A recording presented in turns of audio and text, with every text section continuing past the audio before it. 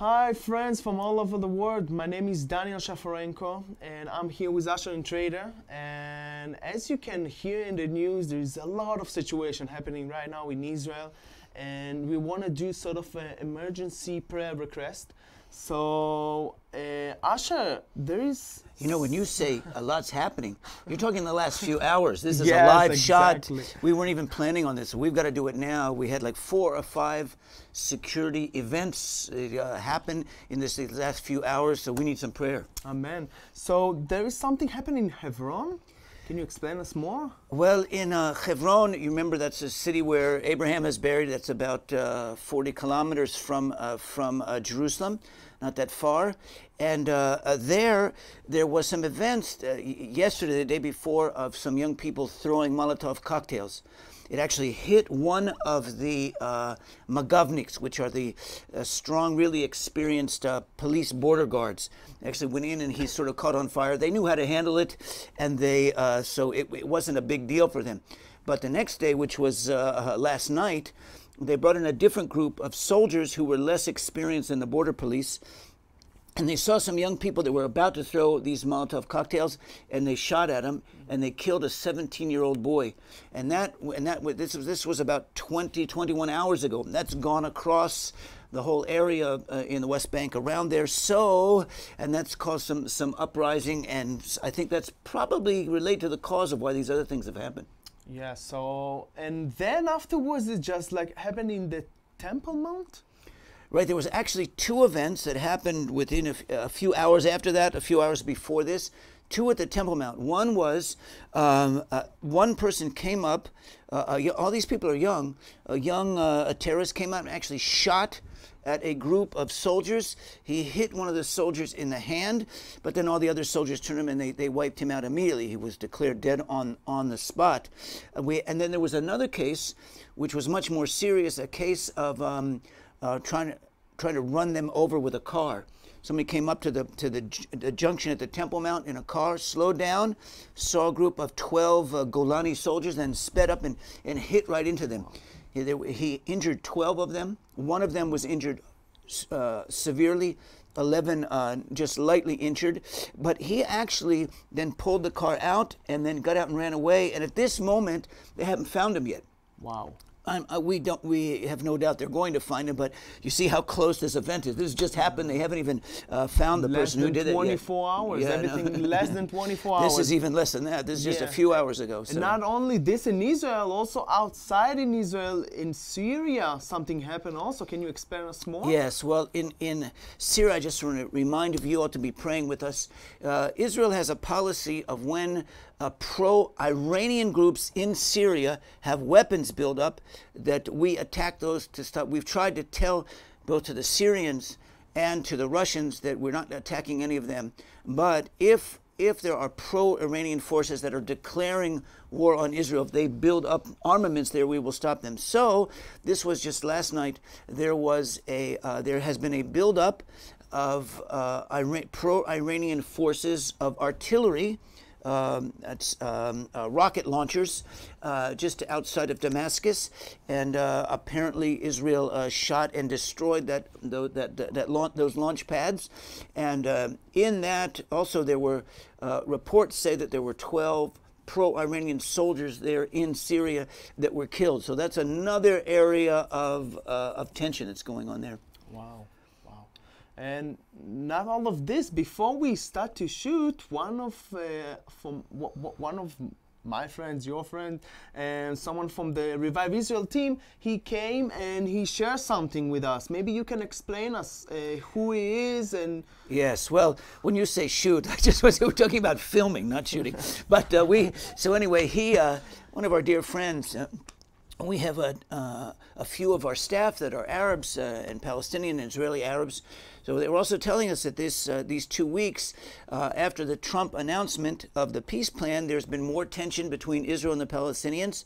There's been a cutting off a lessening of the cooperation between the Palestinians and the Israeli government, and that has resulted in the past couple days of of uh, electricity uh, shortages, stoppages. So they were saying these uh, up to days, if days it's varying from two hours to seven hours a day that they don't have uh, uh, electricity. Of course, it's cold there, so this is all part of the tensions that's going on there, and that's why we're turning for emergency uh, prayer from all of you, our friends. We want you not just to be watching this. We want to we want to see creating a, a spiritual prayer intercessory army around the world to be praying with us every week now.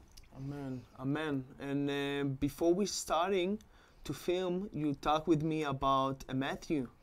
Yes, well, we I've been thinking about this. It's funny. It's easy to remember this verse number. It's 24 7. 24 7 prayer. But Matthew 24 7 says this. Let me just remind you. It says, For nation will rise up against nation. That's in, in Greek, that's ethnos. Ethnic groups, different people groups will rise up against people groups. And kingdom against kingdom. That's basilia. Basilia against basilia.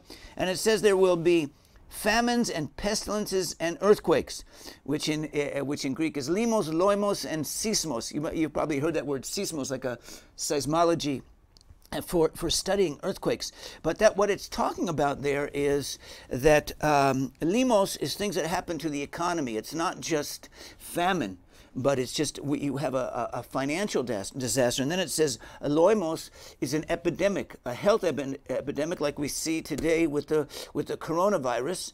And then he says earthquakes. So it's, it's saying that the actually the the earth the physical planet responds to spiritual conflict. So he's saying this has to happen because we're having spiritual conflict. So we see what's going on all over the world. You've got volcanoes and earthquakes and everything happen. And Yeshua is saying that all of these things, this is going to happen. It's interesting. The verse before this, he said, Now look, I'm telling you this ahead of time so that you won't be afraid. Now let's remember that. Our, many people around the world are reacting to all this news and they're just worried, no, what's going to happen? No, no, no. We don't do that as, as believers. Mm-hmm. We believe, we analyze the situation, we respond in faith, and we pray.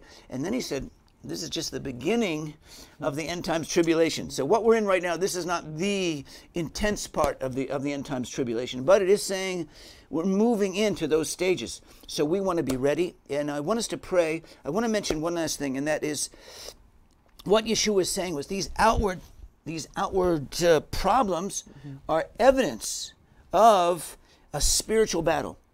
Spiritual battle, moral battle, people battle, angels but he's also telling us that because he wants us to pray, because our prayers can affect the situation. Amen. Remember when Daniel prayed, when he prayed, we understand the mo- he said from the first word you two pray, angels start to move.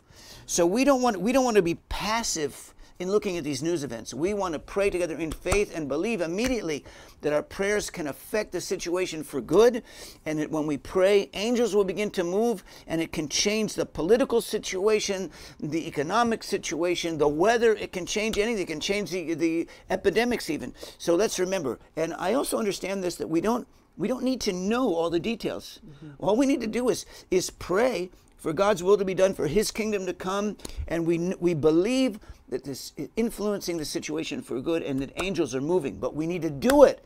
We need to do it and we need to do it with faith. So that's what we're asking you. Pray with us. Let's believe together. Amen. Let's pray everybody together. I want to encourage you, uh, you guys at home, please pray with us right now when me and Asher pray. Just don't watch don't watch us. Just pray. Listen to us and pray with us. Amen. Amen. Father, Father, we we asking for your willing on the earth. We, we, we, we don't know what's happening, but we're not afraid. Father, we're not afraid because we know that you are the king of the world and you are controlling everything.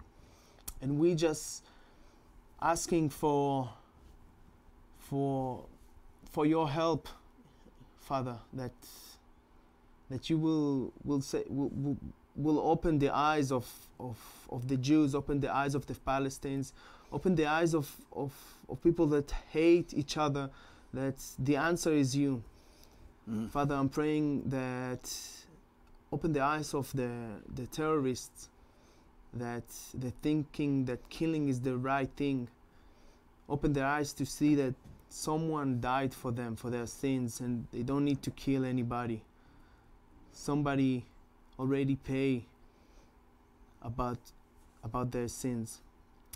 Mm. Father, I'm praying for for brainwash that the, two cultures sometimes having that that you will open the heaven and touch the people and show them the, tr- the truth and the truth will set them free in the name of yeshua Amen. Heavenly Father, we pray right now with faith, with confidence, that from our very words right now, Heavenly Father, that you are listening, that your will is going to be done, that your kingdom is coming, that angels are moving, and Lord, in the midst of all these conflicts, that that you are moving. And we're asking you right now for angels to intervene, for your Holy Spirit to touch the people's hearts. We ask to change this all for good, Lord, for the salvation of Jewish people, of Arabs, of everyone in this area, Lord. We ask for your kingdom to advance. We're uh, inviting you, Heavenly Father, to come in right now in all parts of our society, in our people, in our lives, and change this situation for good. Even as we pray right now, we thank you, Shu- Yeshua, that you told us 2,000 years ago. You said, Be ready for this to happen, and don't be afraid, but pray with faith. And Father, we all come to you right now as in the image of Daniel the prophet. And we are all just praying and believing that as we speak right now, that angels are coming in and moving, heavens are open, and you're changing the situation for good. And we believe in that, Father, in Yeshua's name. Amen. amen amen thank you asher for being here with us Amen. And thank you for our audience. I want to encourage you to like the video, comment down below if you have any questions. Please comment down below. Asher just told me before we start filming. What, what's the question? If there is any specific question, maybe we can answer. So ask the question. We will answer for it. And share this broadcast, share this video. God bless you.